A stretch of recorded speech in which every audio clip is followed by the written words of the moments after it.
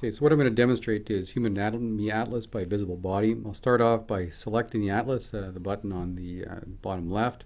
Uh, that will actually load the atlas and you'll see the various options here. What I'm going to do for this demonstration is move down to the to the muscular system. Uh, then with a single finger I'm going to slide across uh, to find the various options and what I'd like to show in this instance is the rotator cuff. So I'll simply select that. It's a finger, a single finger press, and now you'll see the uh, the rotator cuff actually um, actually presented. Um, just walk through the various options that I have. With a single finger placed on the screen, I can I can rotate in any direction that I wish. Um, with a with a two finger pinch, I can either I can either zoom in or zoom out, um, and then with uh, three fingers placed on the screen, I can I can move the the skeleton uh, either up or down. So what I'll now do is I'll now start to look at the structures. So the first one that I'll look at is the infraspinatus muscle. I've selected that simply by by tapping on with a single finger. Uh, you'll notice that along the top of the screen, the the various uh, structures are are actually identified, and the one that I've that I've currently selected is shown there is the infraspinatus. And then on the left side of the screen, I have I have several options, um, including the ability to to fade the structure, which I've which I've now done, so I can see what is below it.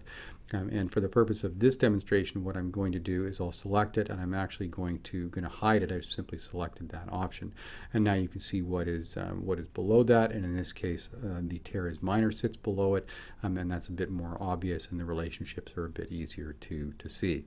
if, uh, for example, I wanted to show the um, I wanted to show the the uh, supraspinatus muscle, what I could do is I could just highlight that.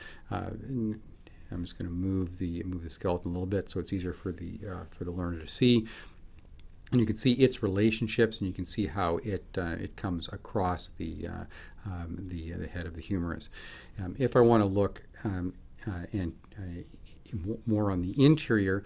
Um, what I've done now is I've is I've, um, I've highlighted the subscapularis, um, useful for the for the resident to um, to understand uh, the relationship with the with the humerus and the and the rib cage, um, and just seeing where that structure is.